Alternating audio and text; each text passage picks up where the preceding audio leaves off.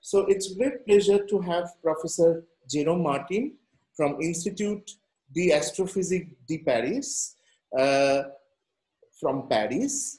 His working area is theoretical cosmology. He mostly works on uh, inflationary cosmology, cosmological perturbation theory, and also uh, some related stuff with uh, quantum information theory, which he will talk about today, related to Bell's inequality and all.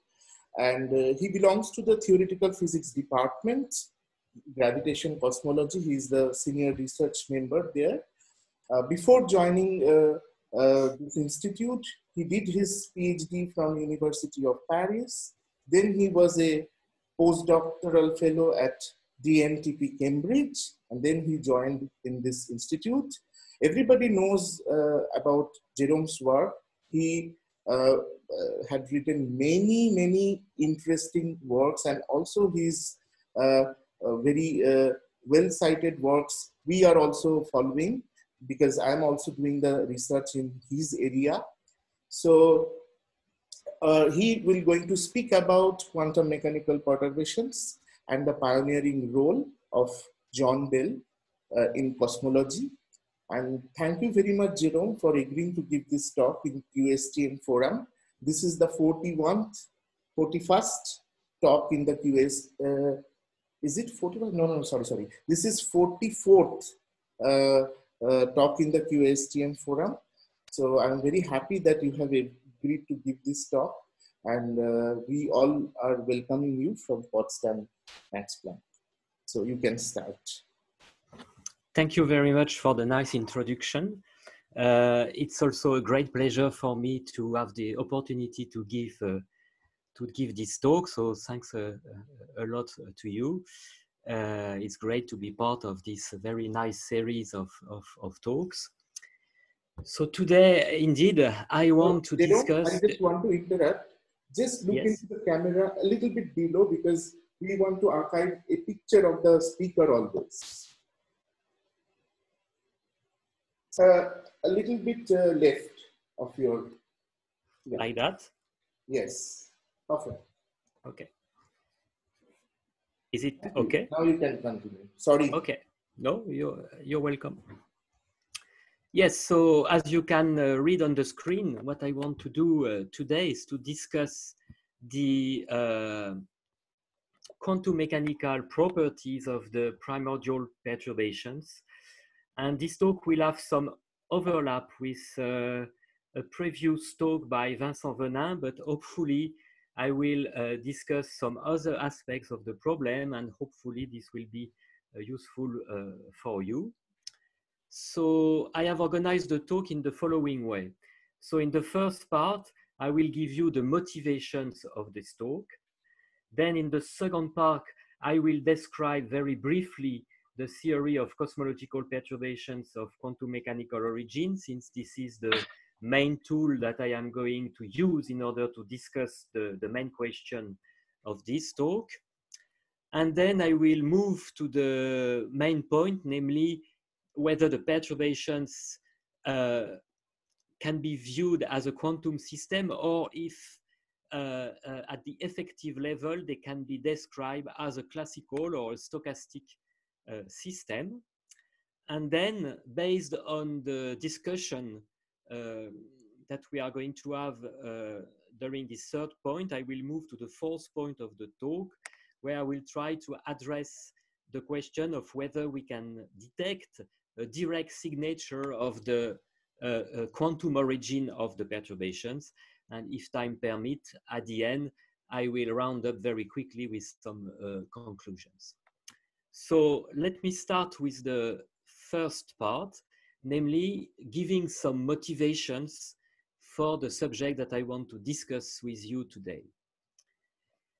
So you probably all know that according to inflation, and in fact, it's not only according to inflation, but this is also true for uh, some alternatives to inflation.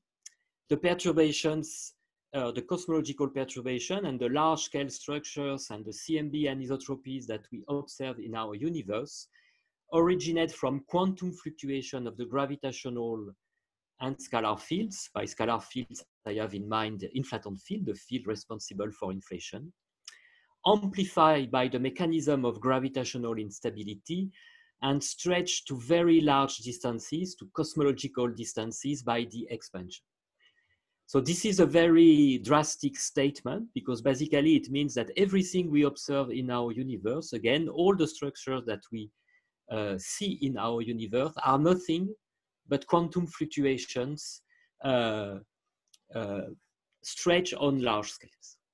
So this strong statement, as, as it is well known, extraordinary claims require extraordinary evidence. And so today I would like to discuss what are the evidence for this claim. Uh, well, a first thing that we can say is that if we postulate that this is true, then it seems that everything that can be inferred from this assumption are consistent with the observations. For instance, uh, if the perturbations are really of quantum mechanical origin, we can very easily uh, find out that the power spectrums of the fluctuation is almost scale invariant. And as we all know, uh, especially after the release of the Planck data, we all know that it fits well the data. So in some sense, we have indirect confirmation of the quantum mechanical nature of the perturbations. But here in this talk, this is something slightly different that I would like to do. Namely, I would like to discuss whether we can find a direct signature in the sky of the quantum origin of the perturbations. So Jerome, I have one question. Yes. Uh, so you have mentioned about this uh, uh, gravitational and the scalar fields that amplified.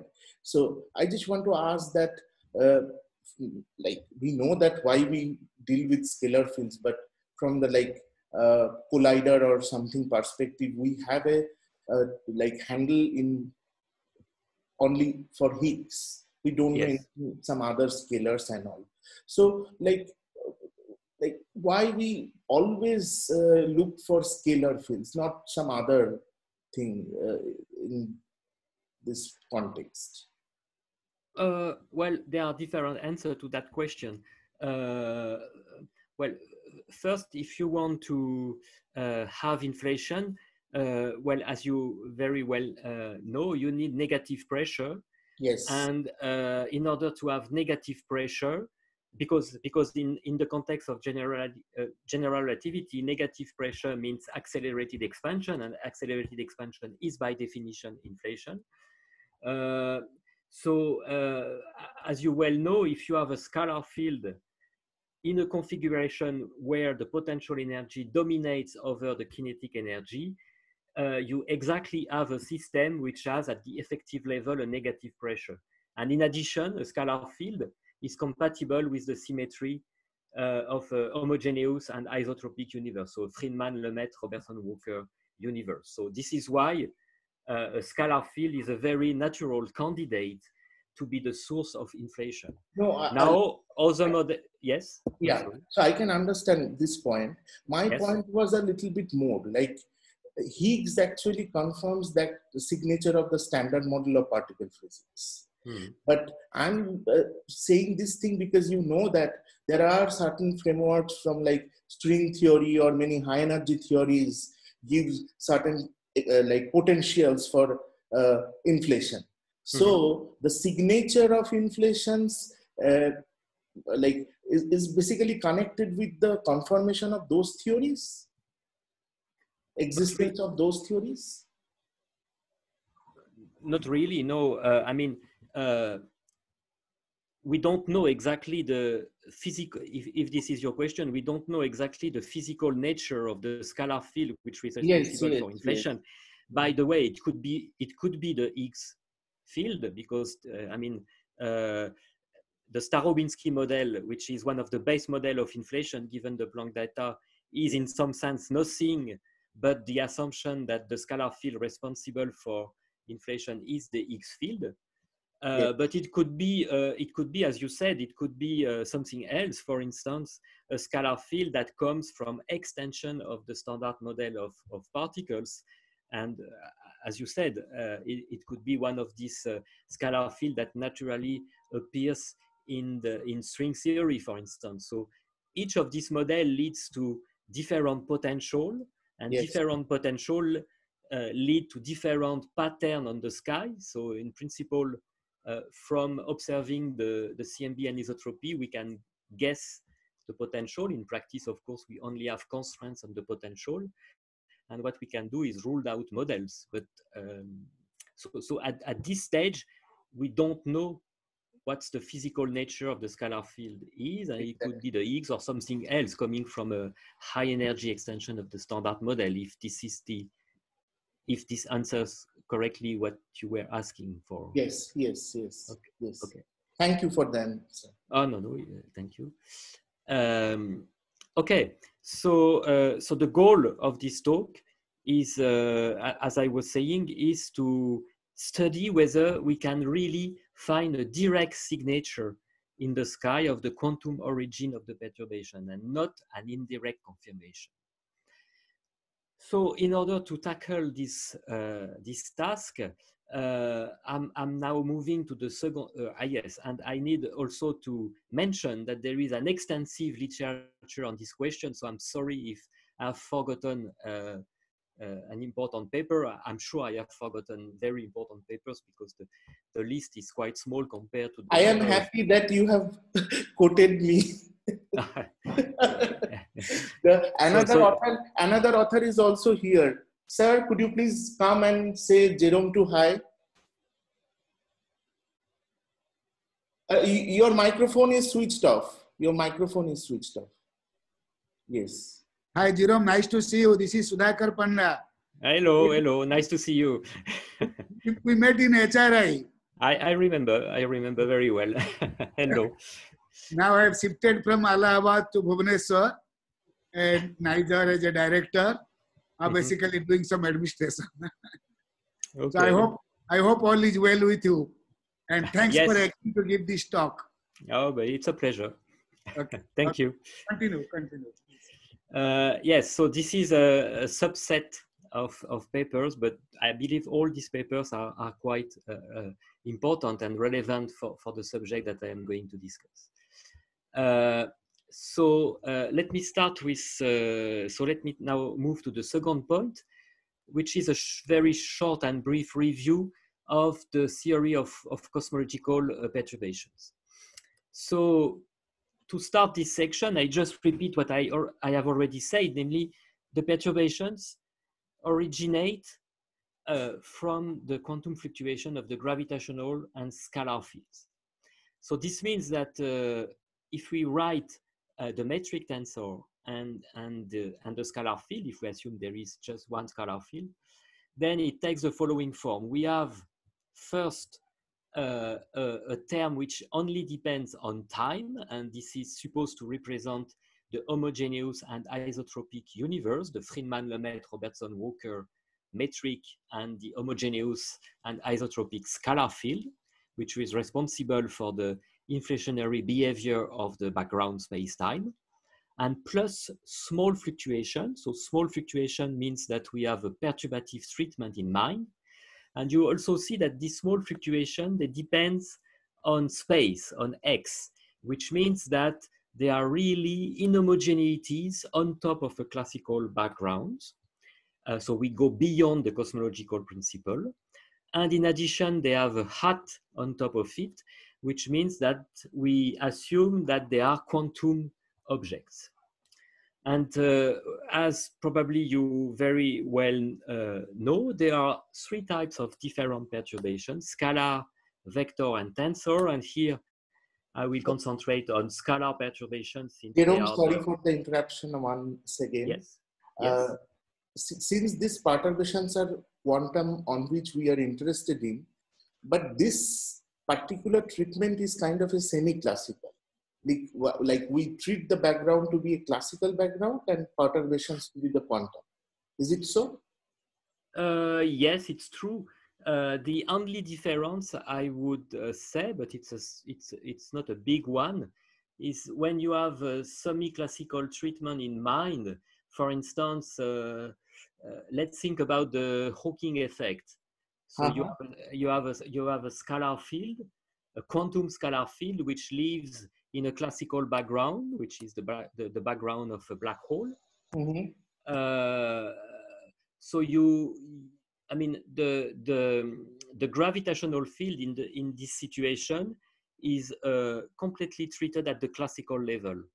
True. Here, here, in the context of cosmology, it's also true uh, at the background level. I mean, the G mu nu of T is the metric tensor of, of a classical background, but you see that part of the perturbations contains uh, also the gravitational field. So in some sense, ah, okay. we also quantize the gravitational field, also in a very modest uh, okay. way.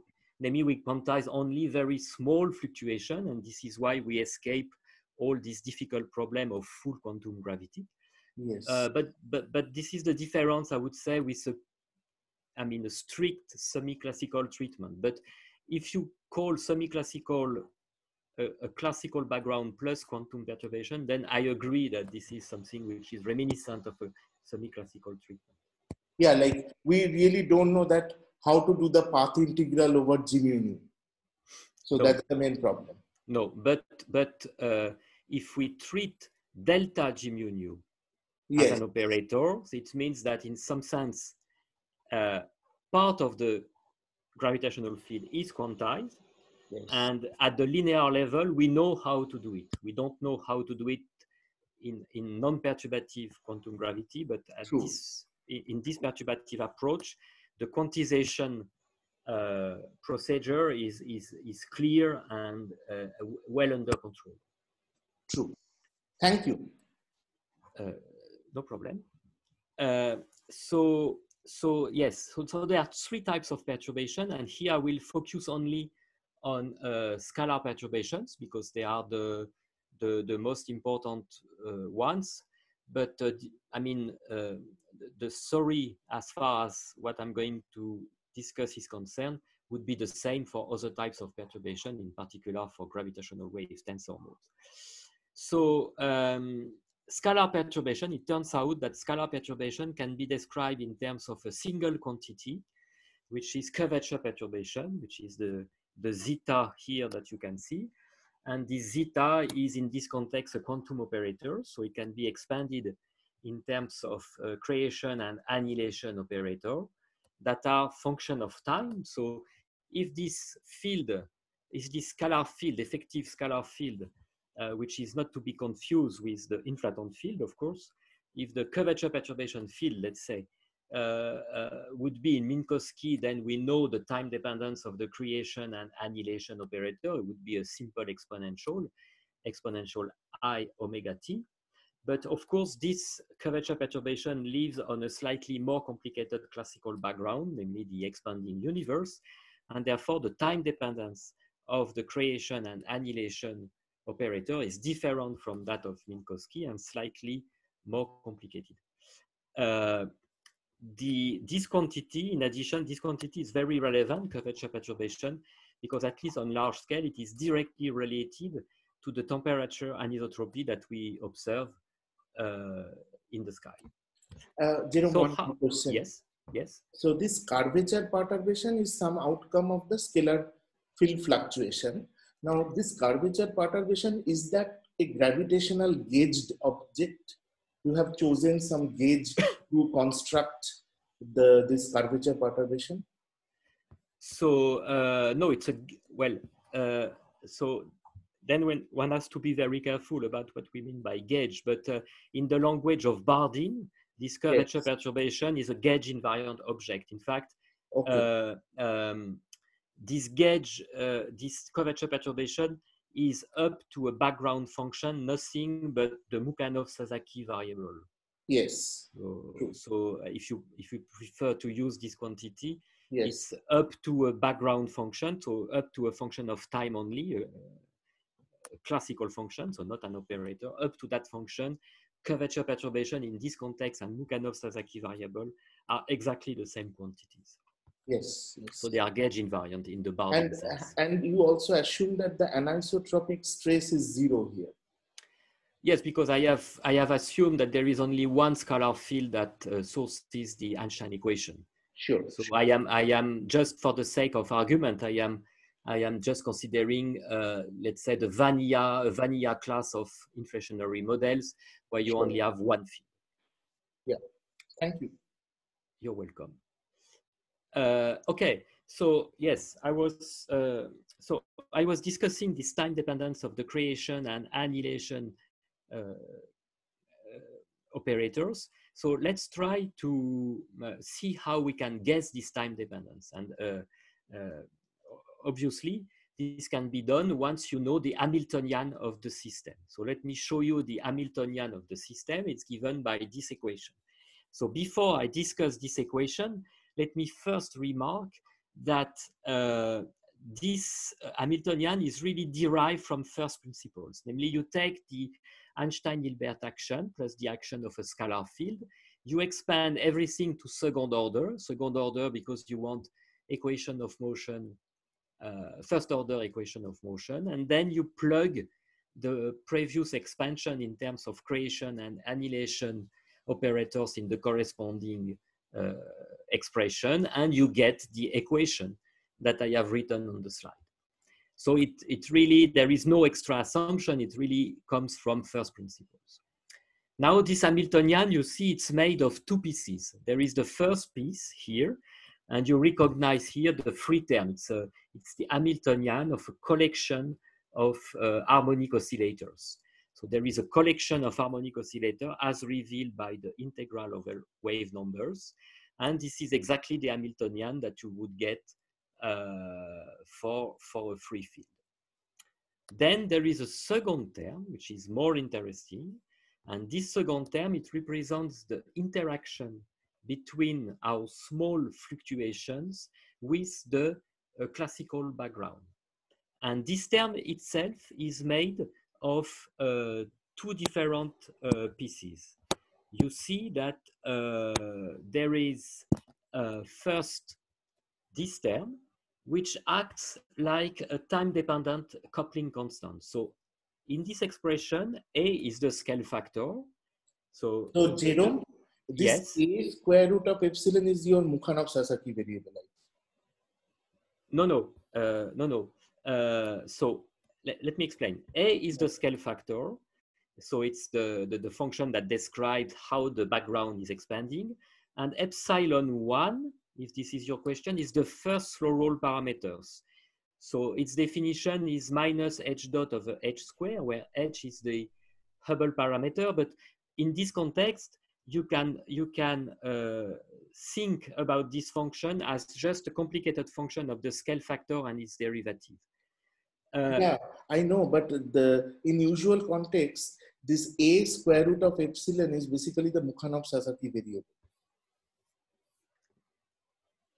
No, a square root of epsilon, a square root of epsilon one is a background quantity. So it's not a Ah, okay, quantity. okay, So it cannot be the Mukhanov-Sasaki variable. But I think I understand your question.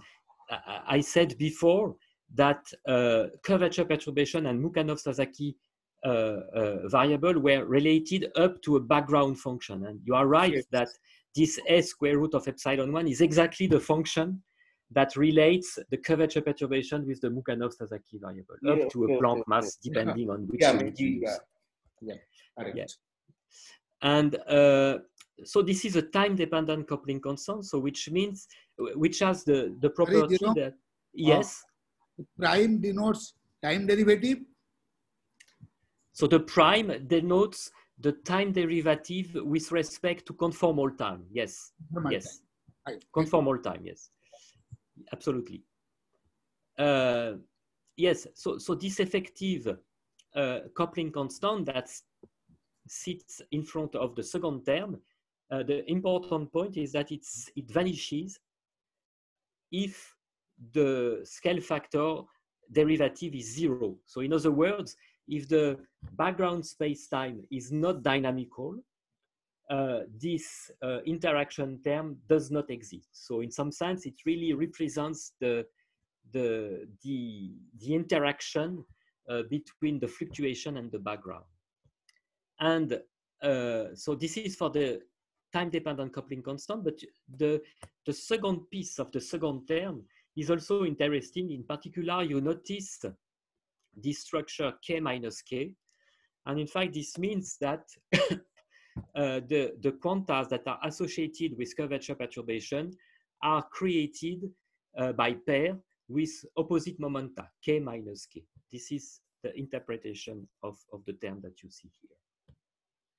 So this is how Hamiltonian. And uh, okay, so given that this Hamiltonian is also interesting to compare this inflationary mechanism for the creations of perturbations with what is known in uh, ordinary uh, quantum field theory. Because you could argue that uh, here we are dealing with physics at maybe GUT scale 10 to the 15 GeV, and therefore that this inflationary mechanism is quite speculative. And I think it's interesting to remark that, uh, in fact, it's exactly the opposite. I would say that this is very conservative, and this is, this is a very conservative mechanism because it belongs to a larger class of effects in the framework of quantum field theory. And in particular, uh, the inflationary, disinflationary mechanism is very similar to the Schwinger effect. So let me remind you about the Schwinger effect. So the Schwinger effect was uh, uh, computed by Schwinger in the 50s, and it consists in the following. You take a field of the electron and positron, so a fermions, which is a quantum field, and this field interacts with a classical source, which is a classical electric field. And because of this interaction between the quantum field and the classical source, you have creation of electrons and positrons. And Schwinger uh, has computed the number of electrons and positrons that you create uh, by this mechanism. And this, he has a well-known equation in, in field theory for, for, for this number. It's, it's, a, it's an effect which is very well known because this is one of the few effects uh, in field theory which is non-perturbative and where you can do the calculation analytically from the very beginning to the very end. And the amplitude of the effect is controlled by the strength of the source, which is in that case, the amplitude of the electric field. And for the inflationary cosmological perturbation, it's exactly the same. What plays the role of the quantum field, the electron and positron fields, are the inhomogeneous gravitational and scalar fields. I have forgotten to write the scalar, scalar fields here. So the, the, the curvature perturbation, if you prefer. What plays the role of the classical source is just the classical background, so the scale factor. And it does not come as a surprise if the amplitude of the effect is controlled by the source of the classical source, which is the Hubble parameter. And we know that the two-point correlation function, for instance, of the fluctuation is proportional to h square measured in Planck units. So this is exactly the same effect. So this inflationary mechanism which may seem at first sight as something quite uh, maybe exotic, is on the contrary, something belongs to a class of effect that is really very conservative and very well under control. I have given the example of the Schwinger effect, but I also could cite the dynamical Schwinger effect or even the dynamical Casimir effect, which has been observed in the, in the lab. And the Hawking effect also belongs to this category. So the inflationary mechanism for the perturbation is in fact just one example of a large class of effects in different parts of physics that have been studied and which uh, I mean which which is which are very well under control um, and very well understood. Uh, now let me say a few words about the initial conditions. And you probably have recognized this, uh, this famous plot. So on the vertical axis, you have the uh, physical distances that are relevant for the problem. And the on the horizontal axis, this is time, in fact, number of e-fold, that is to say the logarithm of the scale factor. And the colored lines are the uh, Hubble radius, which is constant during inflation. So this is the green part of the line. And the black lines represents the physical wavelength of, uh, of a Fourier mode of astrophysical interest today. So if we follow the history of this mode, we see that initially it was uh, inside the Hubble radius at the beginning of inflation. then it crosses out the Hubble radius during inflation, spent some time outside the Hubble radius, and then re-entered the Hubble radius either during radiation or matter or even dark energy epochs, depending on this wave number. And here the important point is that initially the, the, the physical wavelength of this mode uh, was smaller than the Hubble radius at the beginning of inflation. So this means that in this regime, in fact, the Fourier mode does not feel that it lives in an expanding background. For, for this Fourier mode, everything is similar to Minkowski, which means that uh, we can uh, assume the usual vacuum state, the Minkowski vacuum state in some sense. And this is the assumption that we make in the context of inflation. So we assume initially that the curvature perturbations are placed in the vacuum state that in this context we call the Bunch-Davies state or the adiabatic state. So uh, of course, this is the initial state, and as inflation, as inflation proceeds, this state will evolve with time. Uh, so it's interesting to describe this uh, uh, ground state or this vacuum state of the perturbation using a different picture. And here I am using the Schrodinger picture. So this means that there is now a wave functional for. Yes, is there a question or? No. So there is a wave functional for curvature perturbation. And since I am doing linear perturbations, I can always expand or write rather the wave functional as a product of wave function for given mode k. In fact, and this will play a very important role in the following, as the product of wave function for mode k and minus k, so opposite, uh, opposite wave numbers. And if I represent the quantum state of the perturbations, the initial quantum state in the perturbation, using this picture, the, I mean, the initial wave function, so uh, is given here. So the zero means at initial time, and it's nothing but a Gaussian state. It's, uh, it's the ground state of an harmonic oscillator, oscillator, if you wish. And in fact, for people who are familiar with quantum optics, is a two-mode vacuum coherent state. So for people working in quantum optics, this state is the prototype of a classical state. So classical light, for instance, in quantum optics is, de is described by a coherent state. So in a, in a phase space picture, a coherent state is a small bump that do not spread and that propagate in phase space following the classical trajectory. So this is something which is in some sense very classical.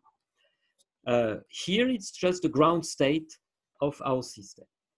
And as I said before, this is for the initial state, but inflation will proceed. The physical wavelength of the mode under consideration will cross out the Hubble radius and the state will evolve. And you can show that the state will evolve into a two-mode vacuum squeezed state. Two-mode vacuum squeezed state is represented by this wave function. So you see that this is still a Gaussian state, still quadratic in curvature perturbation, but now you have correlation between zeta k and zeta minus k as revealed by the fact that you now have an ellipse here uh, instead of a circle.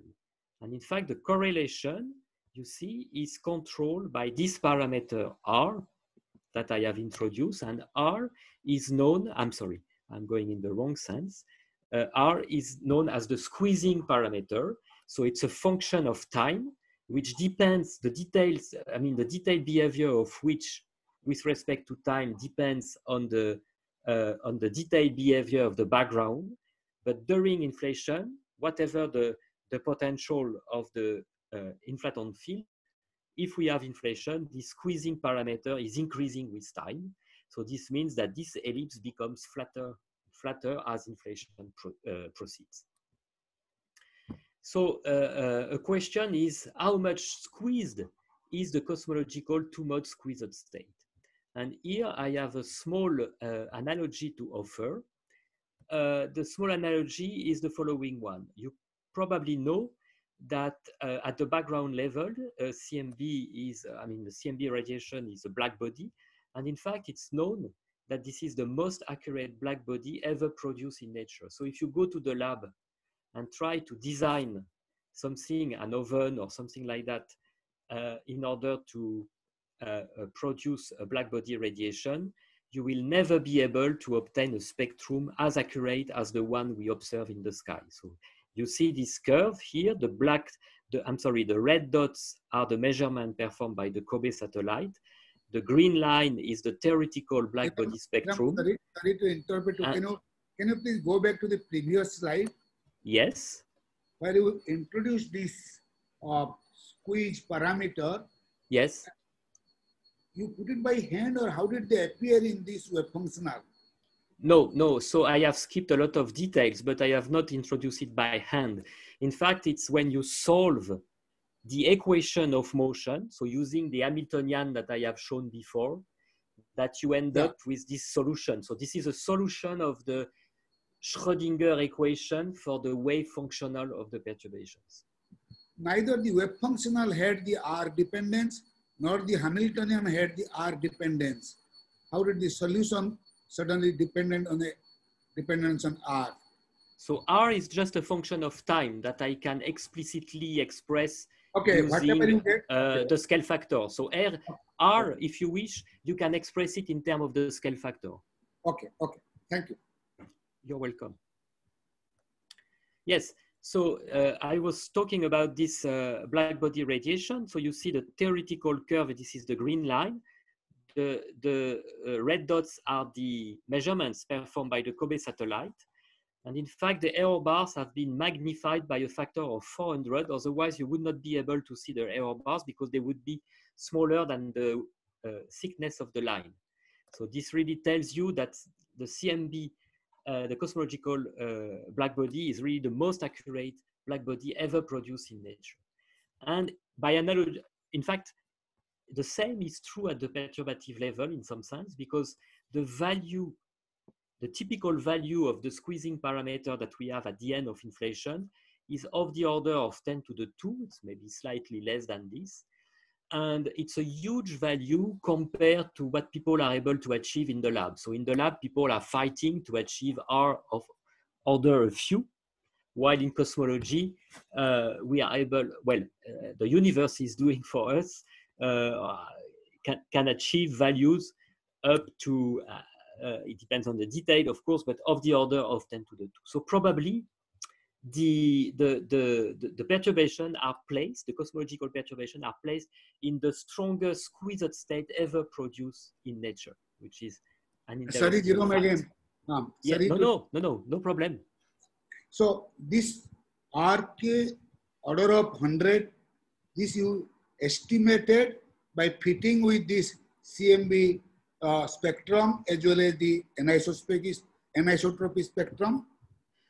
Uh, well, uh, yes and no. In fact, what you do, you, you can, uh, if you specify a potential, yeah, uh, you can solve for the background dynamics, yes. and therefore you can solve for r of t and compute its value at the end of inflation. And yes. of course, if you now, of course, you need something something uh, something else which uh, which fits your question namely you, you need to fix the free parameters of the model such yeah. that it fits the, CM, the, the measurement of the CMB anisotropy. Okay. okay. So and that's if what you do if you do all that, yeah. you obtain a value of R which is of that order. Of course, you would okay. get different values depending uh, considering different potentials, but the order yeah. of magnitude is always the same. Yeah. Okay. But till now, we have not defined actually a given potential. Unless the you order, no, no, potential. Yeah, the order of, uh, so I did not get the question very clearly, but the order of magnitude did not, does not depend on the on the particular shape of the potential. The precise value, of course, does depend on this on, on the choice of the potential.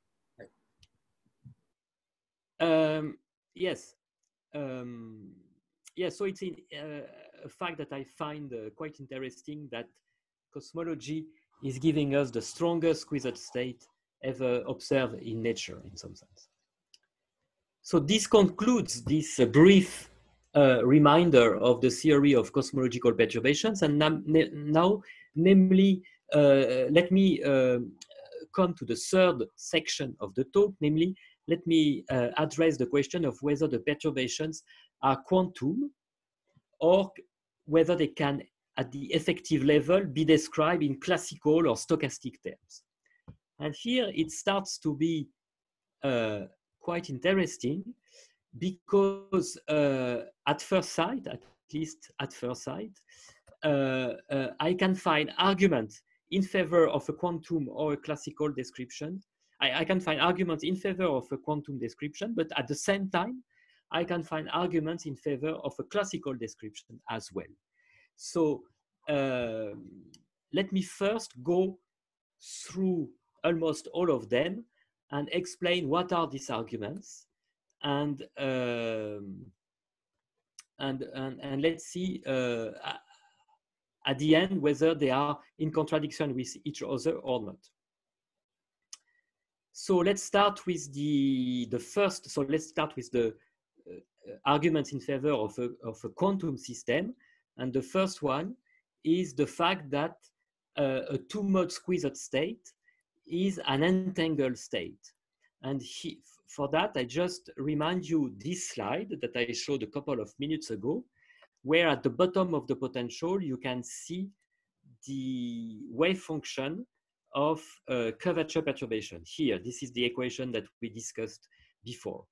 And the interesting point here is that this wave function for the Fourier mode zeta k and zeta minus k cannot be written as the product of a wave function for the mode zeta k times a wave function for the mode zeta minus k, which means that a two-mode squeezed state is an entangled state.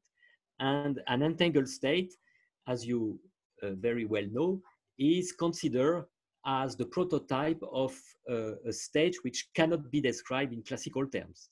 So based on this argument, we would immediately conclude that the system cannot be described uh, by classical physics.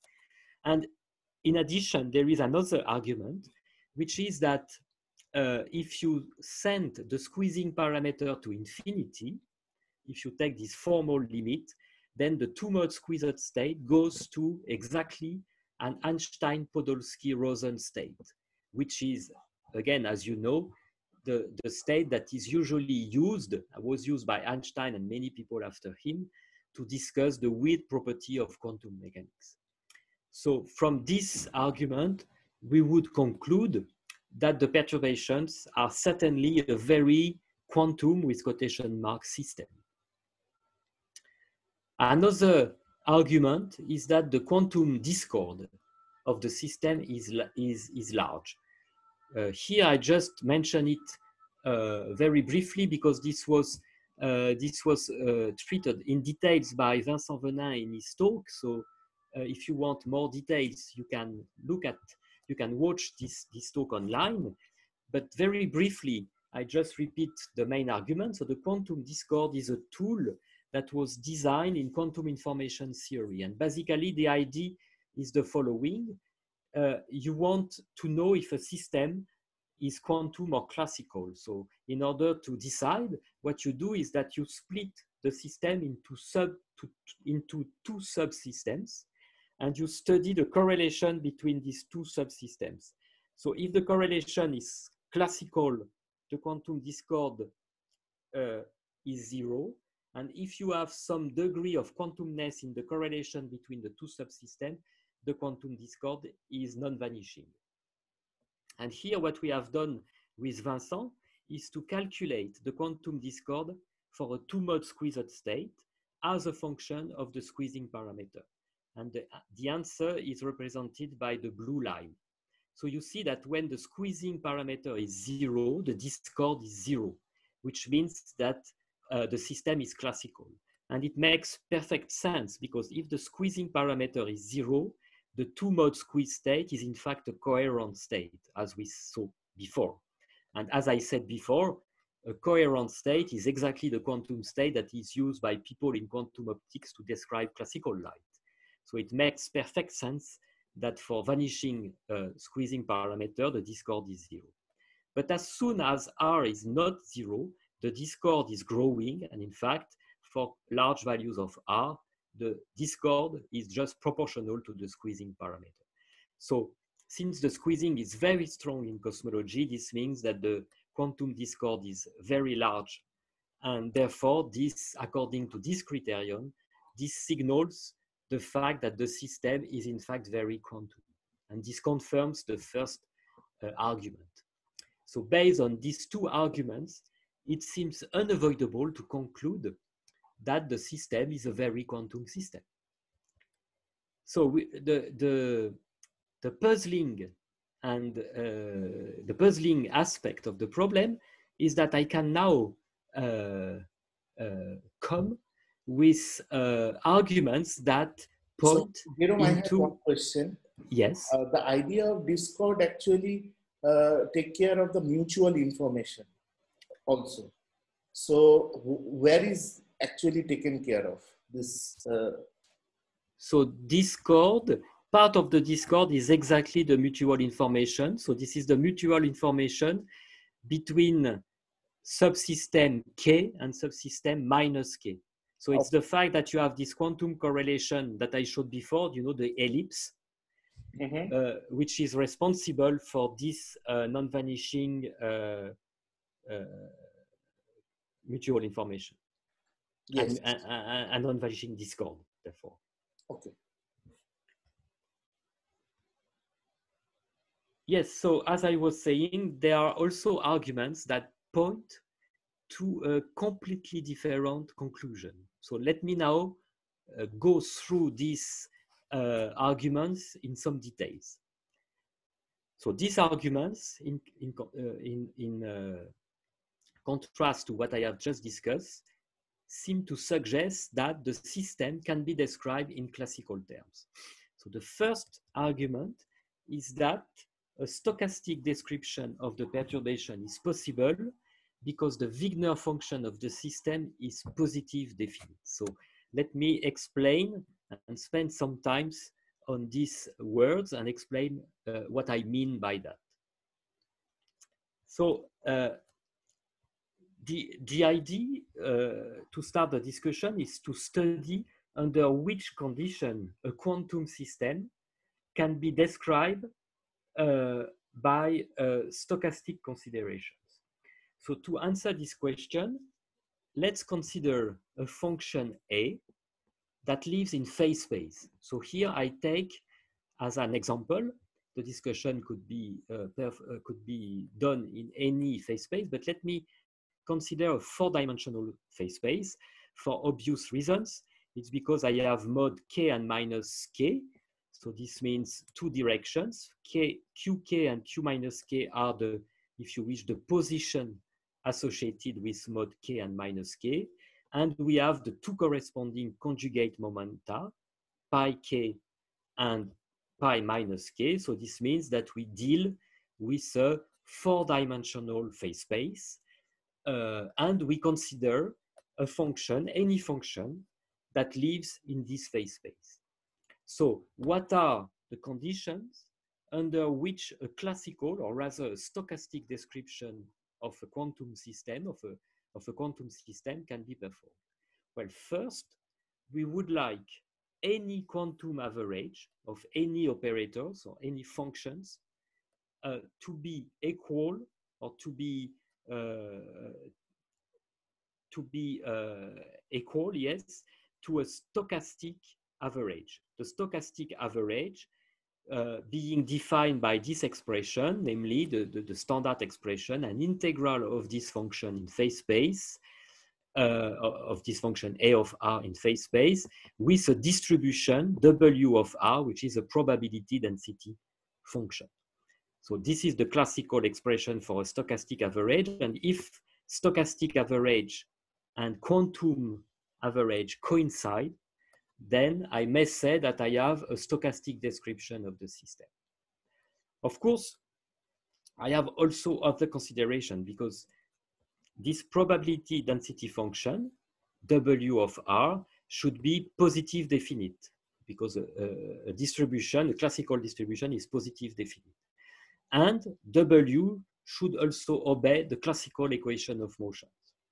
So if I have these three conditions, then in some sense, the system which is uh, at the deep level a quantum one can at the effective effectively can be described in terms of uh, stochastic uh, computations and i may argue that a kind of uh, quantum to classical transition has taken place so under which condition are these three rules satisfied this is what we are going to discuss now uh, so uh, in order to discuss this it's interesting to introduce the Weyl transform. So what is the Weyl transform?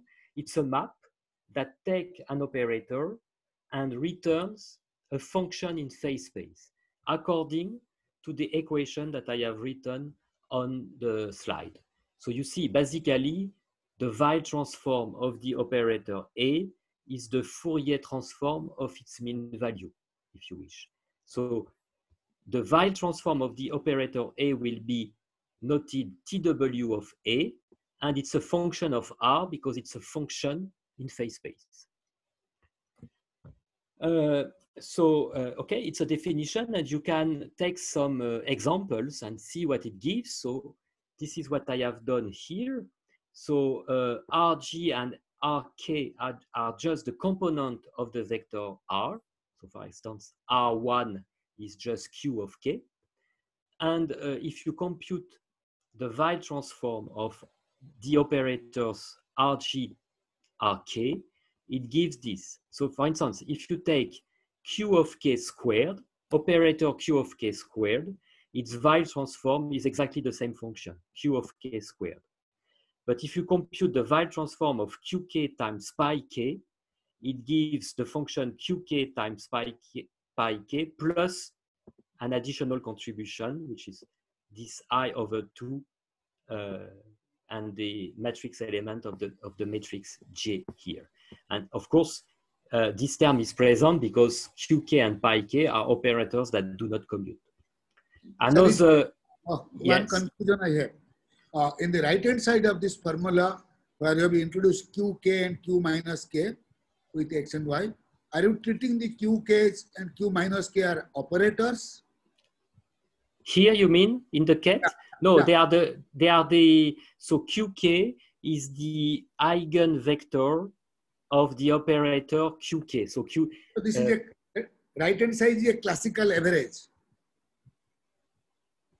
Uh, sorry, uh, you mean uh, here? No, no, this part. No, this part. Are, uh, yeah, and there, if Q are not operators, this is a no. classical average you are talking of, of A. No, no. A is a quantum operator. So the thing is, suddenly my computer uh, crashed. So ah. can, can you go back a little bit earlier? Yes. Because it is recording. Yes, where? Uh, yeah, yeah, from this slide. Can you uh, tell from this? You mean from the first point? Yes, yes, yes. Sorry for this because suddenly it crashed. No problem. Uh, yes. So what I was trying to say is that uh, so in this expression, so we now we now have in some sense a candidate for the distribution, which would be the Wigner function, and that this condition is always true if the Weyl transform of the operator is the corresponding function in phase space. And this is true for any power of curvature perturbation. The Weyl transform of any power of curvature perturbation operator is always equal to the function curvature perturbation to power n. So you this equal, yes. Uh, this statement which we checked that this is matching the stochastic description is matching with the the way we treated the quantum system and with all the conditions satisfied. Has anyone checked instead of linear perturbation, if I would have kept next order in perturbation, this would have been still true? So I did not get your question completely, but I heard linear perturbation. So yeah. you, uh, yes. We, we did the curvature perturbation, keeping only the linear perturbations of the scalar field and the metric field. Suppose I would have kept one order higher. Do you think that this matching still we could have demonstrated? or it, it may be true in the linear level of perturbation, but may not be true in the next order. So uh, I believe that this property that any power of curvature perturbation satisfy this equation would always be true. But where you are right is that if I go to the next order in perturbation theory, That's there is right. no reason for the state to remain a Gaussian. In fact, I am absolutely sure of the opposite. The quantum state will no longer be a Gaussian. And That's in right. that case, the Wigner function will no longer be positive definite. Okay. So this okay. equation will still be valid, but at the price of having a, a probability density function which is sometimes negative, which is yeah, physically uh, uh, meaningless. Yeah. Yeah. Okay. Uh, yes. So Yes, so, so uh, the Wigner so at least at linear level, the Wigner function is positive definite, and W uh, uh, obeys the classical equation of motion, and this is uh, this is also true for cosmological perturbation. But in fact, again, this has nothing. Uh, this is nothing specific to cosmological perturbation. In fact, this is true for any quadratic Hamilton. But in any case, in the case of cosmological perturbation, these three conditions are satisfied, which means uh, that any quantity that we observe in the sky, such as the power spectrum or the bispectrum or the trispectrum, uh, which are all, in fact, power of curvature perturbation, they can all be reproduced uh, by mean of stochastic averages. And this is a property which has nothing to do with the amount of squeezing in the system. So in, in this sense, you don't need uh, quantum mechanics to calculate the statistical properties of the, of the CMB, if you wish. And so you could argue that since your system can be completely described in terms of a stochastic process, it's a classical system. So this is, uh, I just skip this because I see that my time is, uh, is running fast. Uh, so this is the first argument. Now let's go through a second argument, which is an argument based on the WKB approximation. So uh, instead of considering uh, the perturbation, let me try to simplify the problem and consider the inverted harmonic oscillator for reasons that hopefully will become clear in the following minutes. So I take the one-dimensional uh, inverted harmonic oscillator, the Lagrangian of which is given by this. And you see that there is the wrong sign in, in front of the potential. So the potential is minus q square, if you wish. Uh, and you, so the potential looks like that. It's an inverse parabola, if you wish. And if you assume that you start at the top of the potential in the vacuum state, you can, I mean, you can derive the Hamiltonian of the system and solve the Schrodinger equation. And you end up with the conclusion that the quantum state of your system is a squeezed state. So this is here that we have uh, the connection with the cosmological perturbations. And in fact, the time dependence of the, the squeezing parameter R is just linear in time. So if you wait a very long time, your quantum state will be a strongly squeezed state, exactly as for the perturbations. So this is a system which in some sense mimics uh, the system of the cosmological perturbations. Now you can also, you see that this state can be written in polar form, which is very reminiscent of the WKB approximation. So here, C is the overall amplitude, and here you have, in some sense, the definition of the action or the, the classical phase of the, of the state. And you can now write the condition, the well-known condition for the validity of the WKB regime, which is expressed in terms of C and S. And you, so the validity of uh, the WKB regime means that this quantity should be very large compared to one.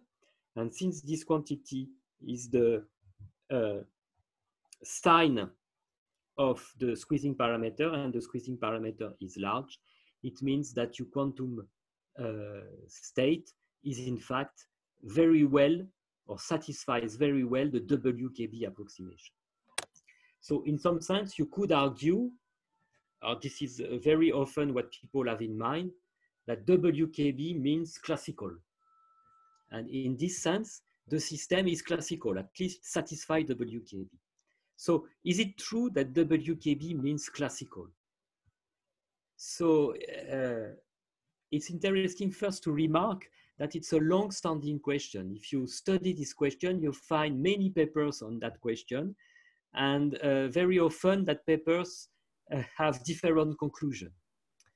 And in fact, in the con yes, Jerome, yes, uh, you took a, an example which is even classically unstable. Would yes, have, would have I got the same information that WKB is classical if I would have instead of an inverted harmonic oscillator, I would have considered simple harmonic oscillator instead of the wrong sign would have the correct sign. Can we make this statement that still WKB is classical? Uh, no, for, uh, uh, well, I have not studied the case for an ordinary harmonic oscillator, but I don't think so because uh, in any case, it would yeah. not be a squeezed state in that case. We know that it will not be a squeezed state. It will not be a squeezed state, but are not you taking a wrong example which is classically unstable and then making some conclusion like WKB is a classical thing? Uh, it gives me a bit uh, thought to think in my mind that maybe something we are not in the right track. No, because, uh, you know, uh, of course, I, I, mean, if I want to treat completely the problem, of course, at some point I would have to add uh, some higher terms here with, yeah. with the correct sign in order to stabilize the system. But this would not change the fact that in this regime. The, the state is a strongly squeezed state then it will, uh, of course, the, the, the, evolution of the system would be drastically affected by the higher order terms at some point. But yeah. in this regime, here I'm just considering this regime, and within, here it's true that, yes? Within this regime, it looks like WKB is classical, but we don't know what happens if we add extra terms. Okay, okay, I understand. Okay. Yes, but I have not finished the discussion on uh, on WKB is classical because it's okay. it's more it's it's more subtle than than this. Yeah. So, okay. Yeah. So in the context of cosmology, in fact, it was first addressed by uh, people working in quantum cosmology in the 80s and 90s because you know in quantum cosmology we have the Wheeler-DeWitt equation and it's difficult to interpret this Wheeler-DeWitt equation uh, because it's like a, a Klein-Gordon equation so you are driven to the problem that there are negative probabilities and so on. And so usually people uh, uh the habit to use the uh, Wheeler-de equation only in the WKB regime. And these people were arguing that in the WKB regime, uh, th this is precisely the regime uh, in which the universe, the wave function of the universe becomes classical. And uh, it's interesting to really study this argument in more detail. So here I have summarized the, the argument. So the idea was to solve the Wheeler-DeWitt equation in the WKB regime. So we have a WKB wave function of the universe. Uh, and, uh, and this is here that we have a connection with the previous considerations. The idea of those people was to compute the Wigner function of the WKB wave function. So it's a simple calculation. Here I am just considering the, uh, the one dim dimensional case.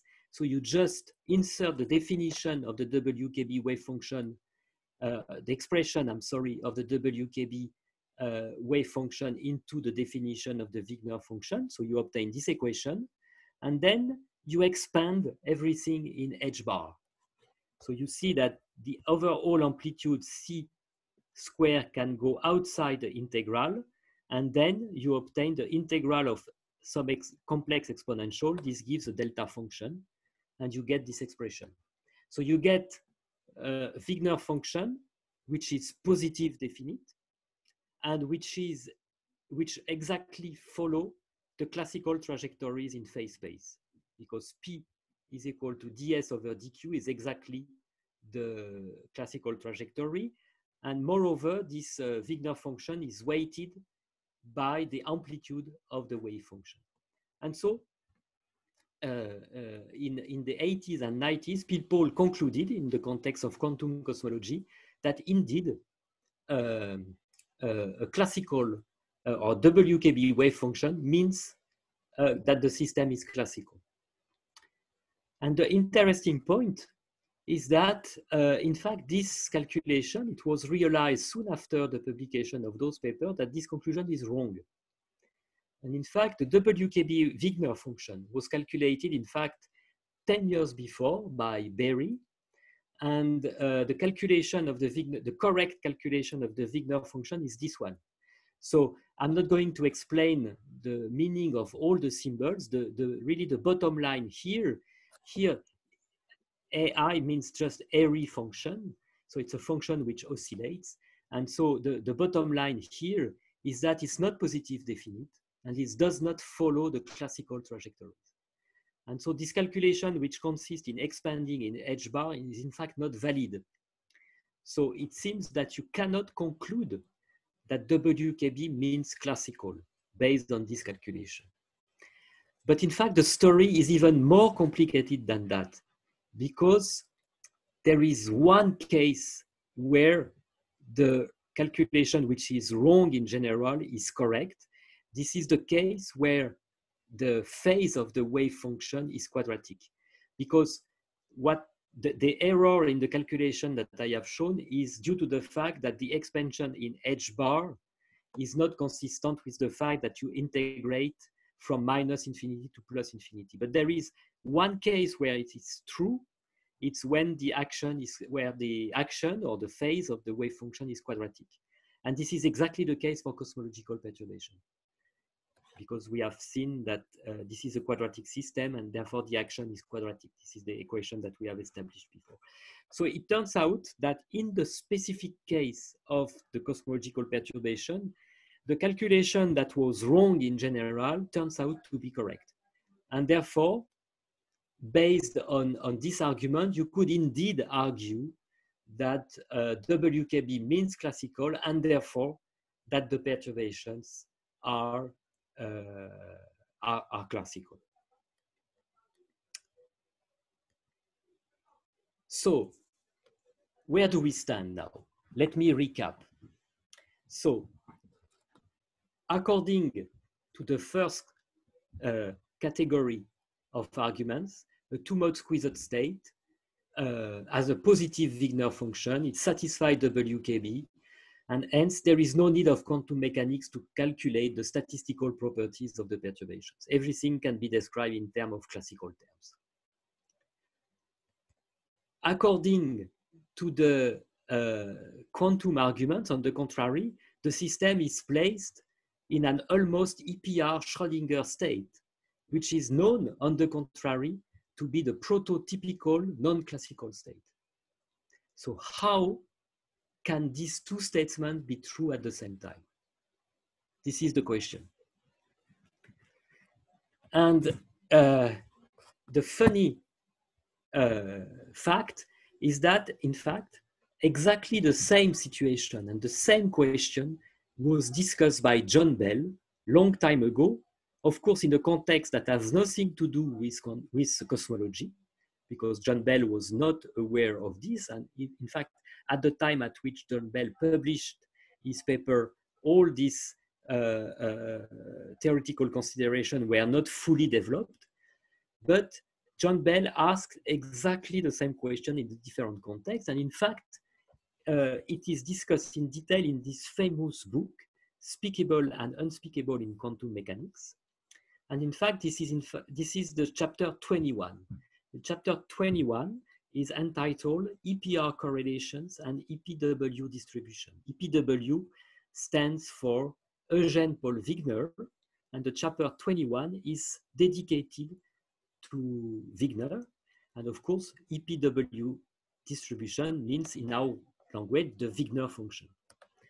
And so uh, I'm going to explain uh, what was the question asked by John Bell.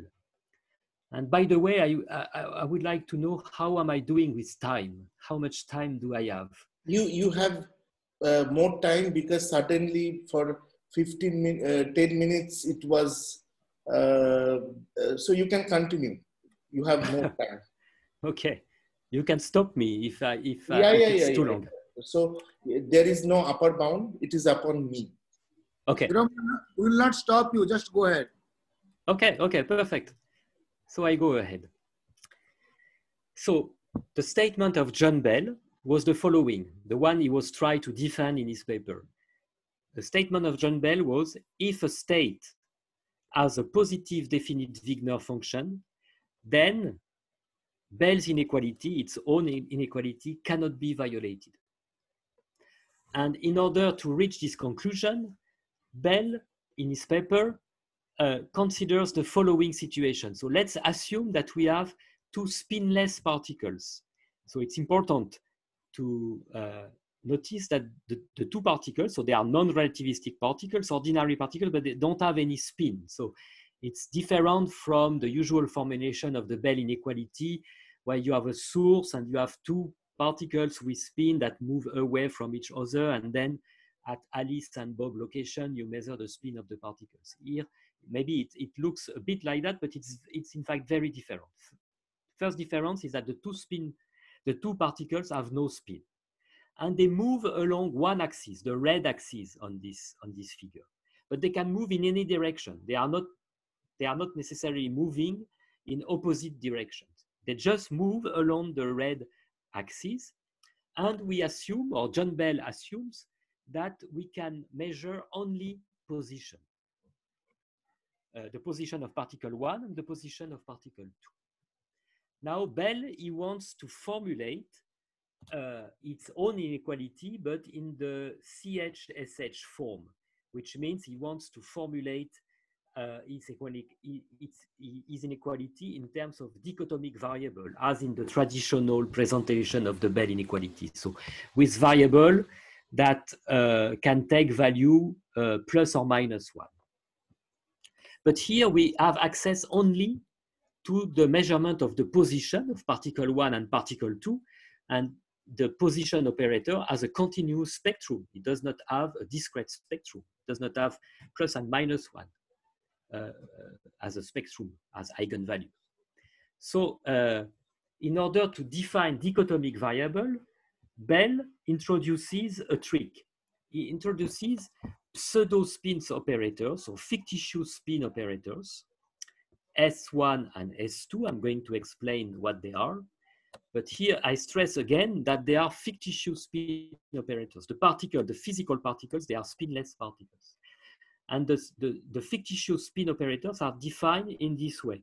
So let's take the, the spin, the fictitious spin of particle one, uh, so the idea is that you just measure the position of the particle 1 plus some q0 over 2. So q0 is just some arbitrary coordinate uh, on, on the axis, but you can, it's a detail, you can forget about it because since it's, it, it is arbitrary, in fact, at the end, when you, calculate when you calculate observable quantities, it disappears from the results.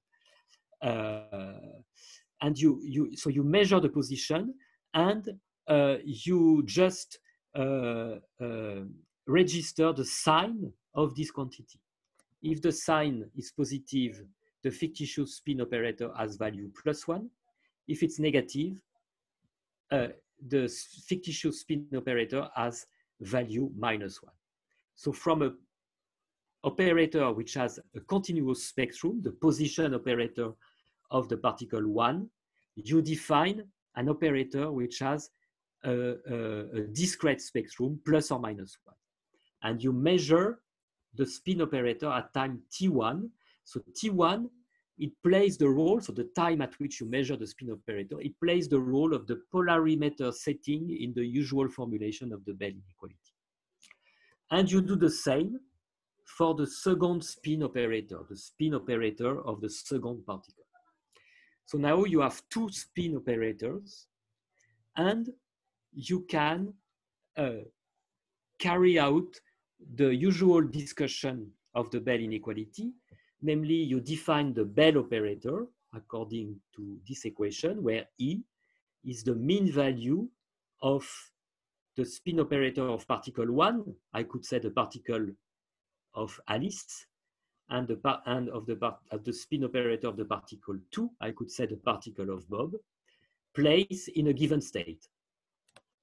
And this is the usual stuff. Classically, B should be less than two, but quantum mechanically, you know that B has to be less than only two square root of two. This is the Tsirelson bound. And therefore, if you find a, config a configuration where the mean value of B is larger than 2, but of course smaller than 2 square root of 2, you say that the system is necessarily quantum because this is a situation that you cannot reproduce using classical physics. So this is the setup that uh, John Bell studies in his paper. And then he proceeds, and what he does, first, he calculates the Bell operator for a state that has a positive Wigner function. And he finds that B, the Bell operator, is necessarily smaller than 2.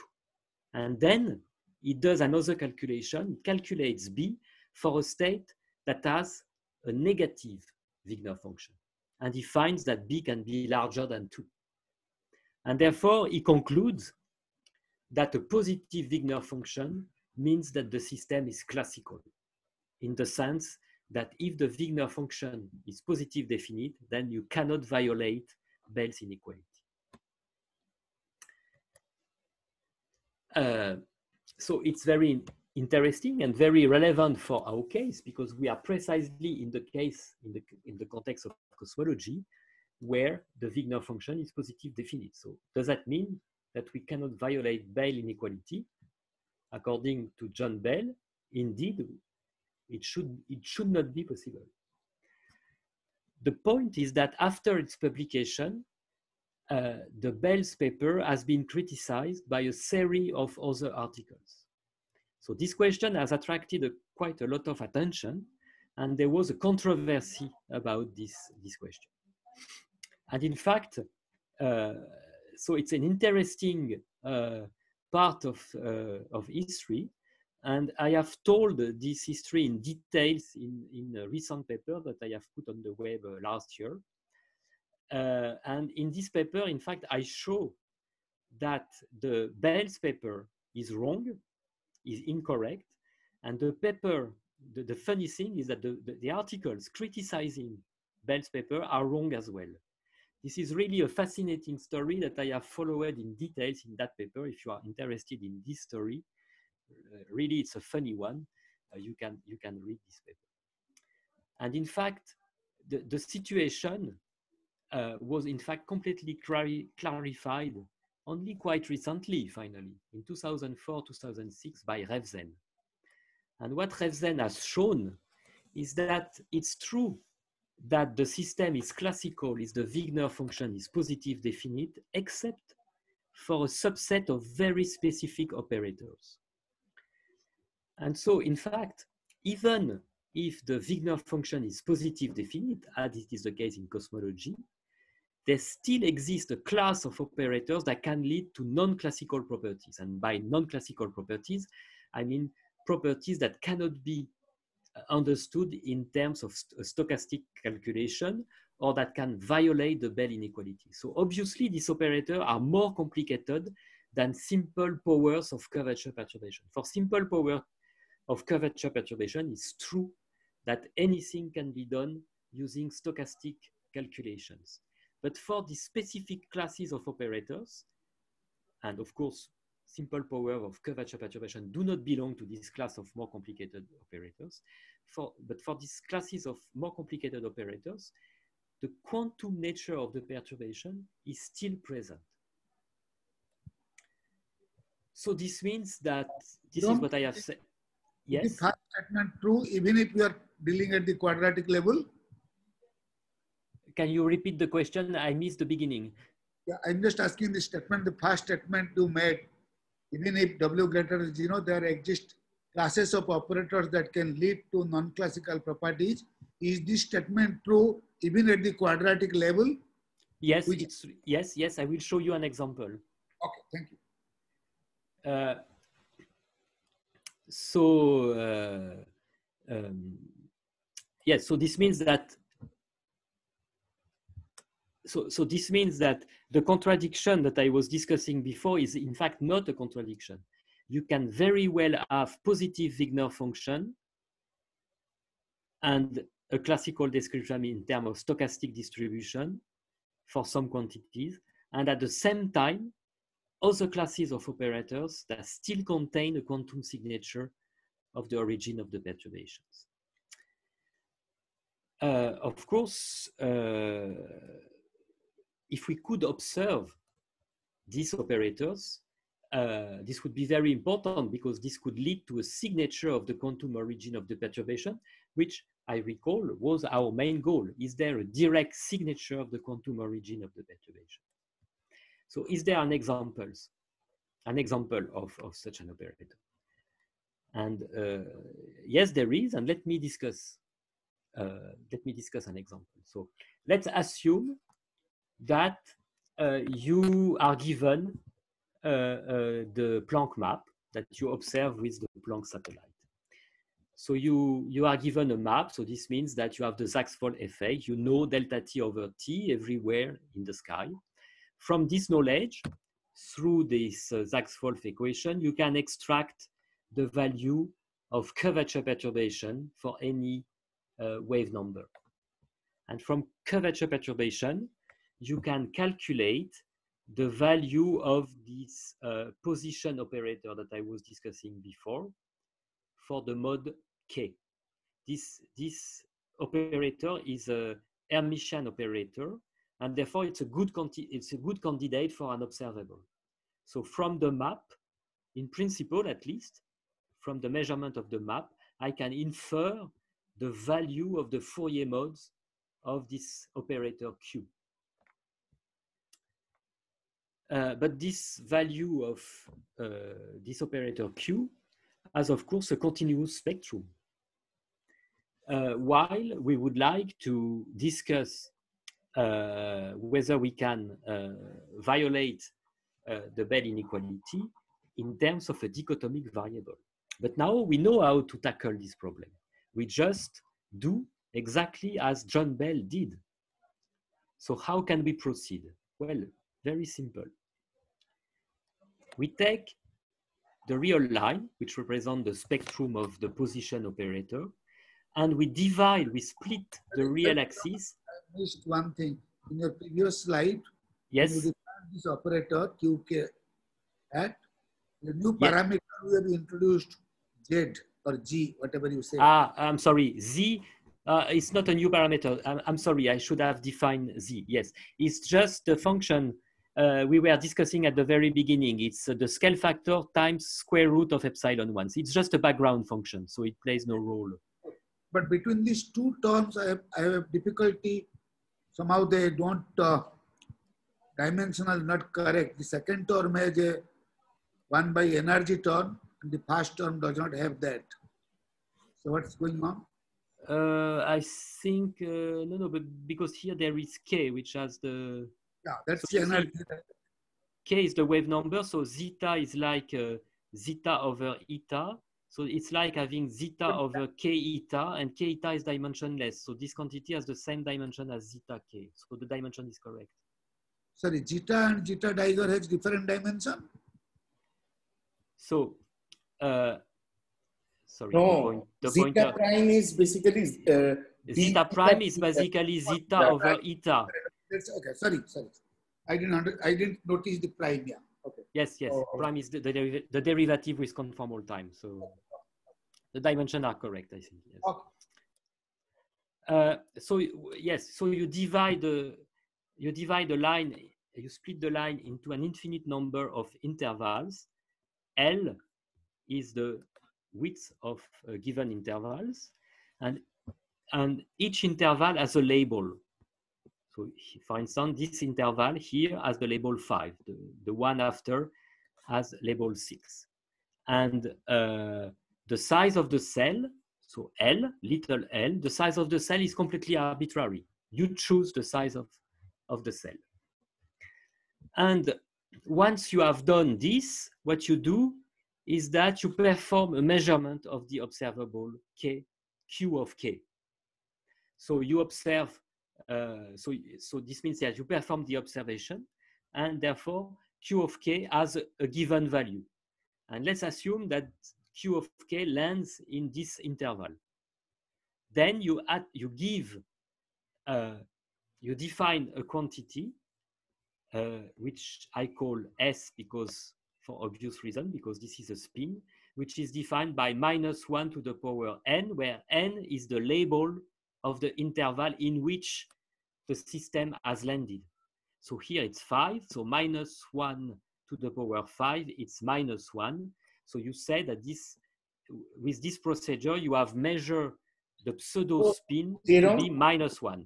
Yes? Is it, is it kind of a parity type of thing here? Uh, so if you take L to be very big, this would lead exactly to that, yes. Ah, okay. Exactly. But Yes, exactly. And you see, of course, uh, the analogy is striking. It's exactly the same trick as introduced by John Bell in his paper. It's exactly the same logic. So in fact, this procedure that I have just described for you, it's equivalent to defining the following spin operator. Uh, sorry, one, one yes. more here. No, no it looks like n is the number of intervals we have defined, right? N goes, yes, n goes from minus infinity to plus infinity. Yes, n is an integer. Yes. The number of intervals we are talking about. So the number of interval is infinite because the line is infinite. Or then what happens in the n going to infinite limit? What, what happens? n is a finite number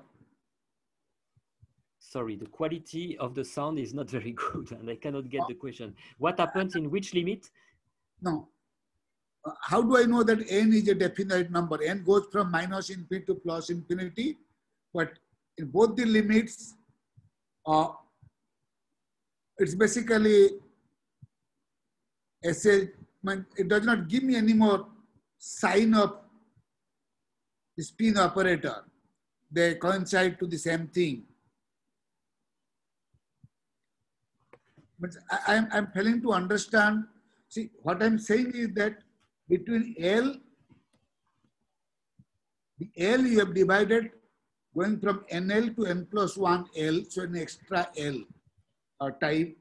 Yeah, here. So what, what exactly N means here? So basically what this N, N means? N can be anything. Okay. So n n is an integer, so I just for I, large I, n, for large n, nl and n plus one l will be same. So the, that's the continuum limit. I mean, the size of the, I'm not sure I understand your question, but the size of the interval is always the same, if this is the question. It's always L, even if n is very big. Even if n is for very big, uh, can we distinguish NL and N plus 1L? So NL plus 1 L minus NL is always L. Uh, okay, let's go ahead. Let's go ahead. I, will find it. Yeah, okay.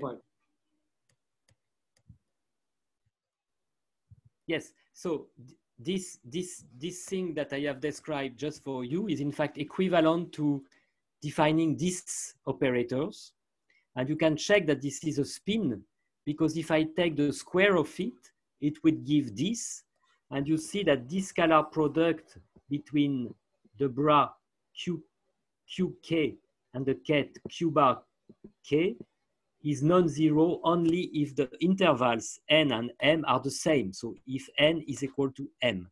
But if n is equal to m, this gives this equation, minus 1 to the power 2n is 1. So basically, this ends up summing all the projectors along all the lines. And of course, this gives a, a, an operator which tells you whether the particle is somewhere in the line. And since the particle is always somewhere along the line, this gives one, and therefore this is a spin operator.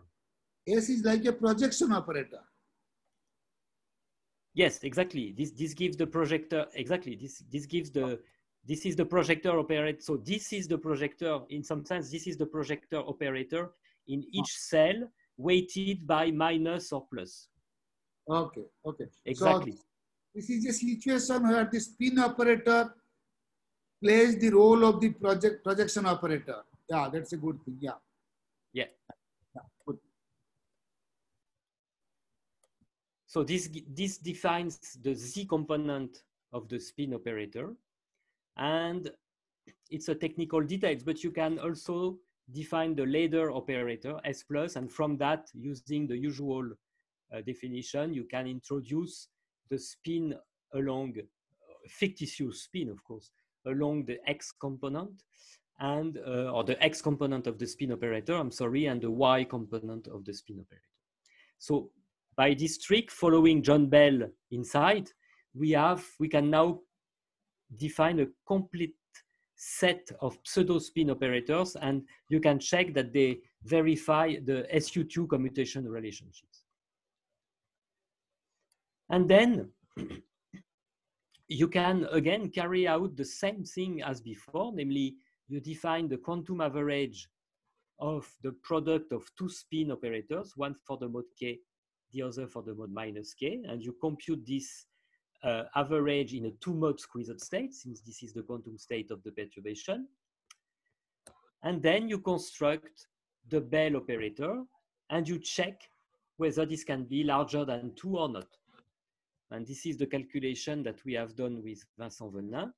And in brief, the conclusion is that indeed it can be larger than two.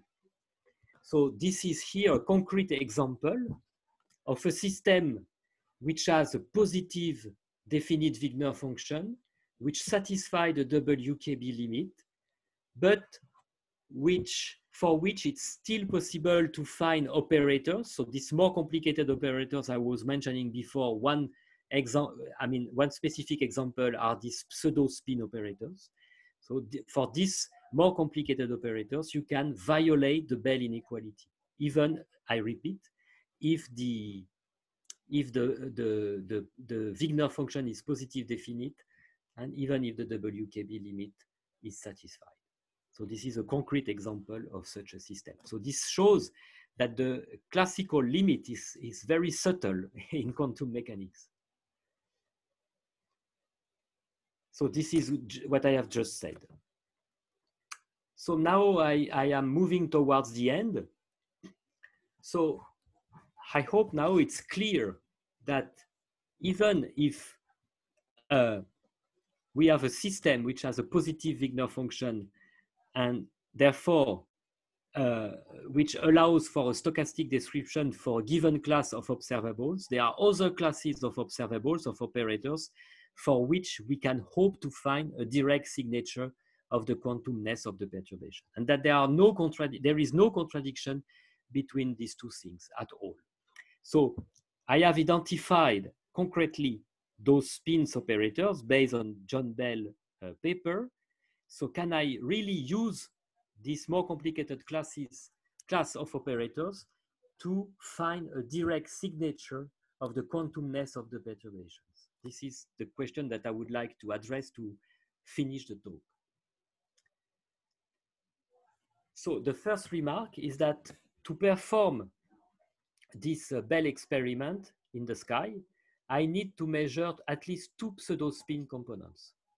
So this means that I need to measure two non-commuting operators. If I measure only the, let's say the Z component of the, of the spin uh, operator, I cannot uh, define the Bell operator and I cannot perform the Bell experiment.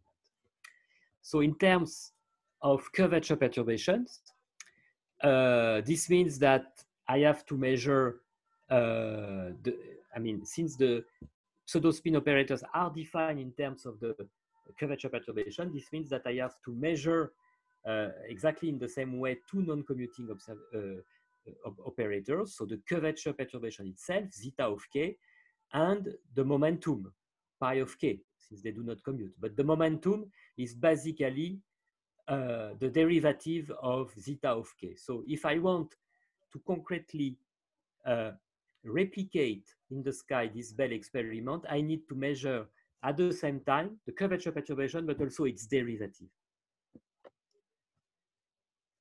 And how can I have access to this derivative? Well, you remember I had this definition for the curvature uh, uh, perturbation operator, and its, its evolution was controlled by this Hamiltonian that I discussed at the very beginning of the talk. So from this Hamiltonian, I can find the equation of motion uh, of the mode function, zeta of k, and it obeys this equation, which is the equation of a parametric oscillator. And the solution of which is given by this.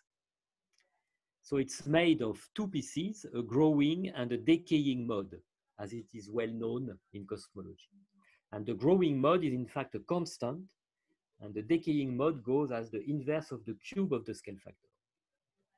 And this is very unfortunate because this means that the decaying, the, this means that the derivative is in fact zero, or is not zero, but it's very small because the derivative of the growing mode is zero, so it remains uh, the decaying mode, and the decaying mode, you see, it's in a universe which is exponentially growing, it's exponentially killed. So this means that also this signature is present uh, in principle in the sky. Measuring uh, this signature requires the measurement of the decaying mode, so the derivative of the curvature perturbation, which is, I believe, impossible in practice and forever because it's so tiny. It's exponentially killed. So the conclusion is a bit frustrating, I should uh, admit. The, I mean, we have understood that also the system possesses some classical properties, it still contains a quantum signature of its origin. It's there in principle, but in practice, in the context of cosmology, I believe that it will never be possible to measure it. So is there a way out? Well, if you want... I'm sorry to disturb you. No, no, uh, you don't disturb me. in this one, exactly what you have shown, I'm very happy about that. There is a growing mode, there is a growing up operator, and there is a decaying operator. I don't know classically there is any system classical physics can explain decay. Uh, again, the I, am sorry, it's uh, it, the, the, the sound is broken sometimes, so it's very hard for me to follow. Can, can you say it again? Do you have any example where a classical physics, yes. classical physics can describe a decay of a system? A what? Decay of a system. Decay. Something is decaying. A classical yes. can describe how it is decaying. Means what I'm asking is that is there a microscopic physics based on classical physics which can describe us decay processes? Uh, uh, you, you, mean the decaying mode here? The decaying mode here we have. My, yes. My, my point is that the presence of a decaying mode, I, I don't know why you should also feel bad. It is tiny. As long as it is non-zero, I think that proves that it is quantum in nature, not classical in nature. That's my point. Ah, okay. Yes, I agree. I agree. But uh, okay, I get your point. I agree, but uh, it's true. It's true. I agree. But uh, uh, I mean, uh, I, I, would like, maybe it's too ambitious, but I would like, uh, I would like to measure it in some sense using the, the Planck data. And uh, what I see is that it's present in, in, in principle, but in practice, it won't be possible. but I agree. It, it, it shows that it's there. Yeah, it, the moment we can ascertain ourselves that it is there, that very well tells that it is not described by classical physics. This is the statement I'm making. I, I agree with this statement. I agree with this statement, yes. Uh, uh, so le let me, I, am very close to the end of the talk now. Uh, so le let me just discuss with you a last slide, which is an idea to try to find uh, a way out to the, to the previous uh, conclusion. So we see that uh, we cannot measure or reproduce or mimic the cosmic Bell experiment because we need to measure two non-commuting uh, operators. And this is, this is simply not possible in practice. So uh, it would be nice if we could uh, measure only one component of these fictitious spin operators. Because only one component would require the measurement of only the growing mode. And the growing mode, we know that we can measure it. Uh, uh, so the only way out that I see at the moment is that if we want to measure only one component, we have to do it at different times. This means at different redshift because two uh, quantities evaluated at different times do not necessarily commute. And this leads to the to an, another type of uh, inequality that are known as the Leggett-Garg inequalities. So the Leggett-Garg inequalities, so the Bell inequalities, they they deal with a situation where you measure spin operators at different locations. Leggett-Garg inequalities, you measure uh, a qubit, but at different times. So in the context of cosmology, this would mean measuring the growing mode at different redshift. And we have checked with Vincent Vennin recently that the Leggett-Garg inequalities are indeed violated for the fictitious spin operators that I have introduced before and for a two-mode squeezed state. So in principle, there is maybe a way out and we could maybe, uh, using a measurement of the growing mode at different uh, times, we could maybe still try to design something which would allow us to, to, to, to measure a direct signature of the quantum nature of the perturbation. This is the only way out that I see to something which would be otherwise a kind of no-go theorem that you can never measure a direct signature of the quantum origin of the perturbation. So the hunt continues, and this uh, leads me to my conclusion.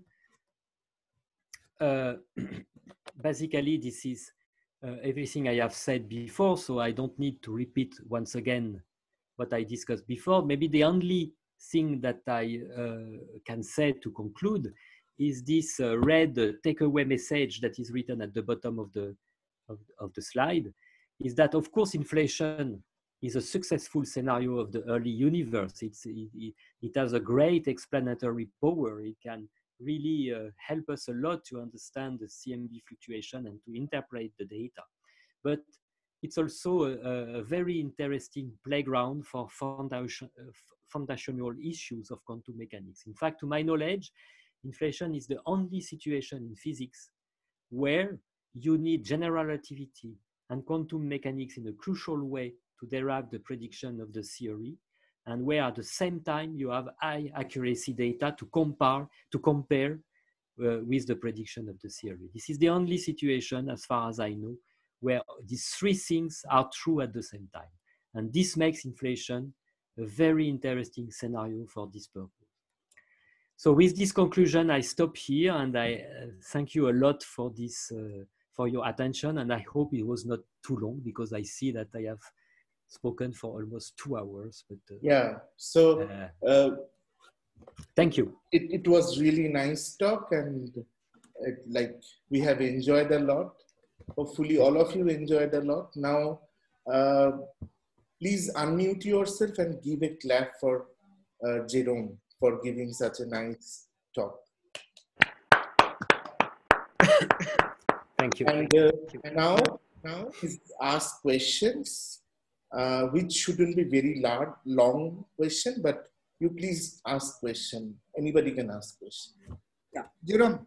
Uh, Yes. I don't. I have not a question, but I have a comment.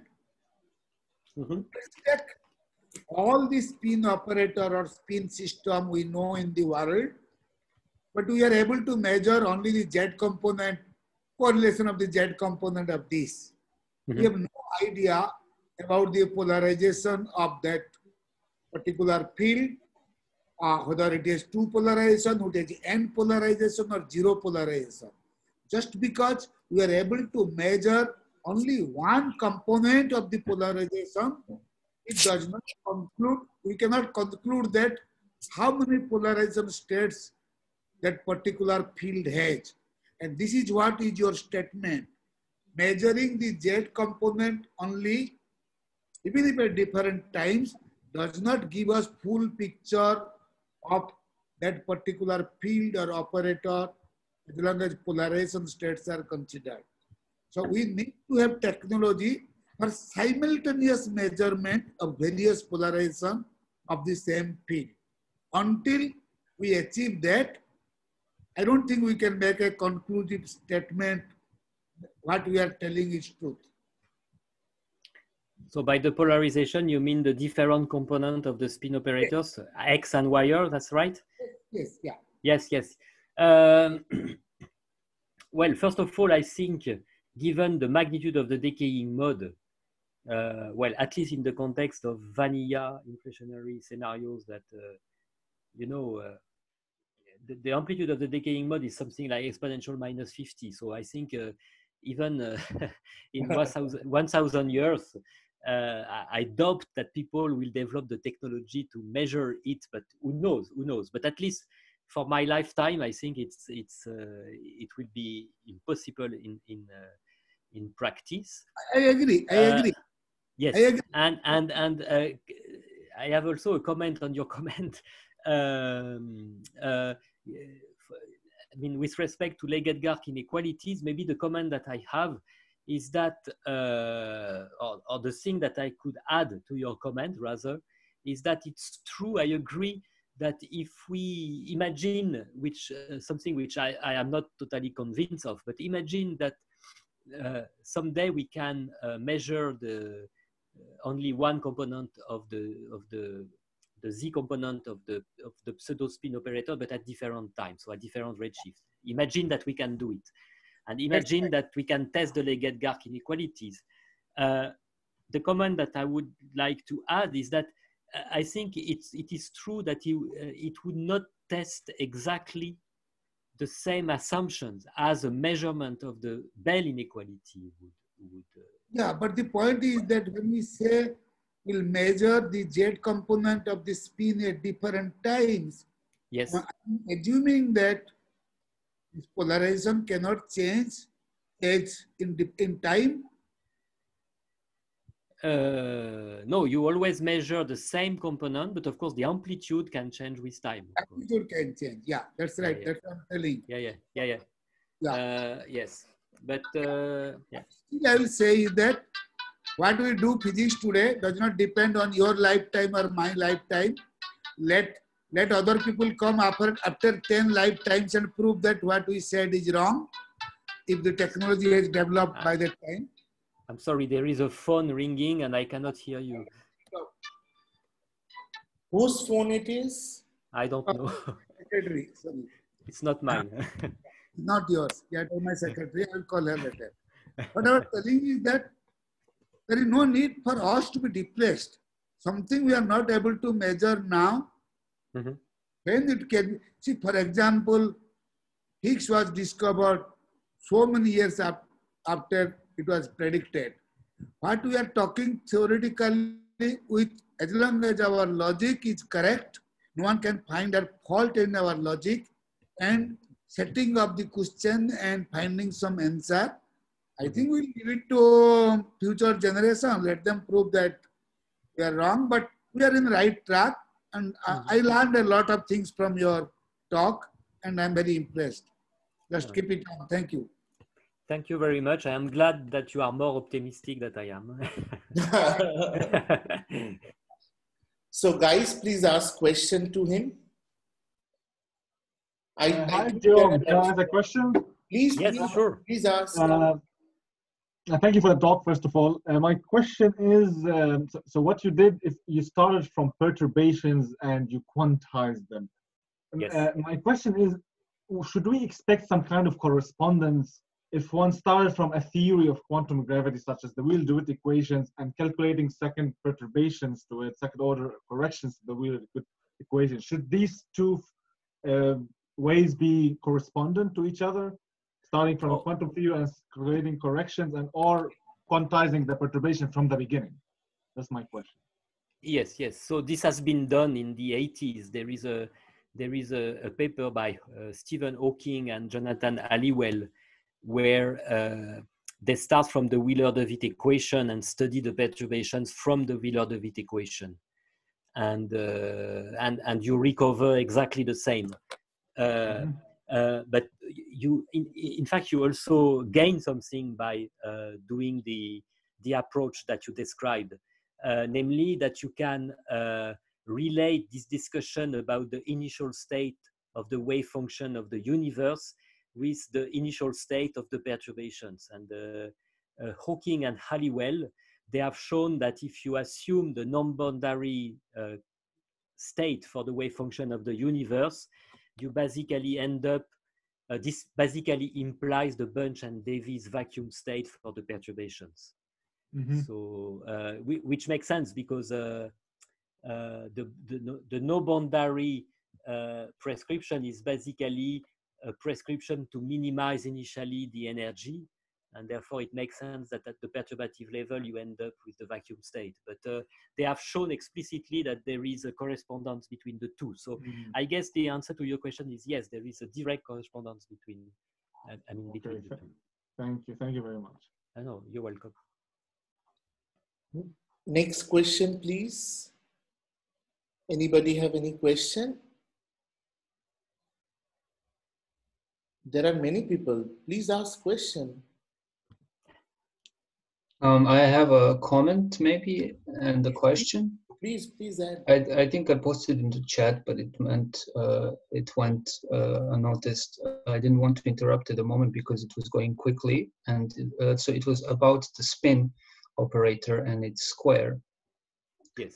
Um, so I was just uh, uh, noticing that it I wouldn't call it a projection operator um, because the projection operator, if we are using the same word in the same context, is uh, has this idempotency relation, whereas uh, spin is just uh, the spin operators are just defined in that way. Um, that they happen to square over one in, in the cases. And from your calculation, from the calculation with uh, equating n and m, um, right, yeah from here this is uh, so so each yes, term inside the integral would be a projection operator yes, for every this is k. what I meant. This is what ah, I meant. okay, okay, right. Yeah, yeah. I, I said this is a this is a weighted sum with minus of one the, to yeah, right. of okay. the projector. Yeah. I see. Okay, sorry, I didn't really no, no, no, understand that point. Mm. Yeah, okay, thanks. And you had any a question? More, any more question or comments? Please ask him. The students, there are lots of students. Please ask. Abhinash, do you have any question? Uh, no, no, no, I'm good, thanks. The other students, please ask. Hi. Yeah, uh, can you speak loudly, a little bit loud? Uh, can you hear me now? Yes. yes. Okay. No, uh, I don't have a question or comment. I just wanted to note down the number of a paper you had referred to, and I, I sort of missed it. It was in one of the slides on Bell experiment. It was just before that. So could you just roll back a bit? Uh, uh, the number started with 1605.094444. I just want, oh, I just missed oh, it. Uh, uh actually, this uh, talk will be posted in YouTube. You can see the whole thing. Oh, is it okay? Okay, then then I'll check it out. So I have this one channel. Ah, yes, this one. Yes, yes, exactly. Hmm. Okay, okay, noted. Thank you. No problem. Okay, so I don't think there are more questions. And like, uh, I am also very sure that Jerome is also very tired after giving the two hours long talk along with huge discussion. But I hope you have also enjoyed. Sure. Uh, yes. So, uh, uh, like, so we are uh, very thankful to you for giving this uh, uh, talk and talk come lecture. You can say that, and uh, hopefully we'll we will get back you in this forum again with some new ideas and uh, most importantly from all of us we want to say stay safe and healthy and this is the most important thing at present and hopefully things will be get very uh, soon okay so that we can all go to our institute and universities and work from there.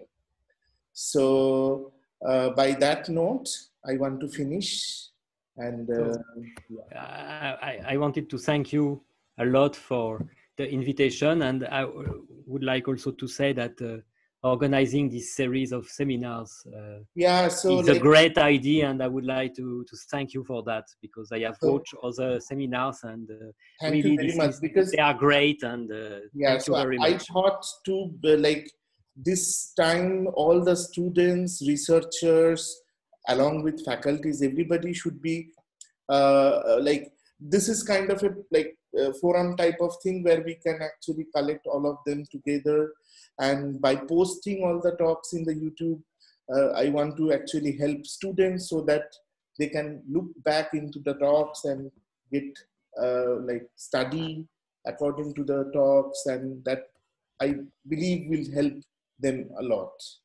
so thank you the- very much for that thank you Yeah, very yeah. much for Hi, that uh, Jerome, one last thing. yes Sorry for that. Yeah. Uh, I found this really helpful. It was brilliantly presented. Thanks a lot. I'm just my my first year of PhD, but this was super helpful to me. Thank you. I, I'm, Thank I'm you glad to hear that, of course. Thank you very much. So, I guess I bye bye. And uh, Bye-bye. again, again, thanks a lot. yeah Thank you, Jerome. Bye. Thank you. Bye. Bye bye.